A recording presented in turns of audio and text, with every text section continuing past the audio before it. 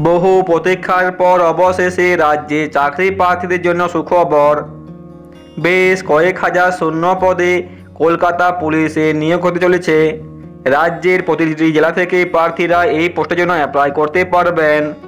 প্রসঙ্গত, এই নিয়োগের নোটিশ খুব শীঘ্রই প্রকাশিত হবে।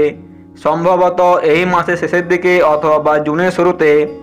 নোটিশ প্রকাশিত হওয়ার আগেই চাকরি প্রার্থীদের সুবিধার্থে চ্যানেলের তরফ থেকে কলকাতা পুলিশ কনস্টেবল পোস্টে সম্পূর্ণ নিয়োগের প্রক্রিয়া নিয়ে আলোচনা করা হলো।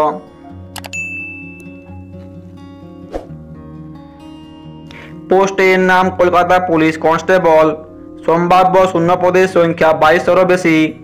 প্রার্থীকে ভারতীয় নাগরিক হতে হবে, অর্থাৎ পশ্চিমবঙ্গের যে কোনো জেলা থেকে প্রার্থীরা অ্যাপ্লাই করতে পারবেন। প্রার্থীদের বয়স হতেই হবে আঠেরো থেকে সাতাশ বছরের মধ্যে। সরকারি নিয়ম অনুযায়ী সংরক্ষিত প্রার্থীরা বয়সে ছাড় পাবেন। এই পোস্টে অ্যাপ্লাই করার জন্য প্রার্থীর কোয়ালিফিকেশন হতেই হবে কমপক্ষে মাধ্যমিক পাস। অন্য যে কোনো উচ্চতর শিক্ষাগত যোগ্যতা থাকলেও প্রার্থীরা অ্যাপ্লাই করতে পারবেন। প্রার্থীকে অবশ্যই বাংলা ভাষা লিখতে, পড়তে এবং বলতে জানতেই হবে। পাহাড়ি এলাকা নেপালি ভাষাযুক্ত প্রার্থীদের ক্ষেত্রে বাংলা ভাষা জানা আবশ্যক নয়। ফিজিক্যাল মেজারমেন্ট পুরুষ প্রার্থীদের ক্ষেত্রে উচ্চতা একশো সাতষট্টি সেমি, ওজন সাতান্ন কেজি, ছাতি আঠাত্তর সেমি, পাঁচ সেমি ফুলানোর ক্ষমতা থাকতে হবে। মহিলা প্রার্থীদের ক্ষেত্রে উচ্চতা একশো ষাট সেমি, ওজন উনপঞ্চাশ কেজি।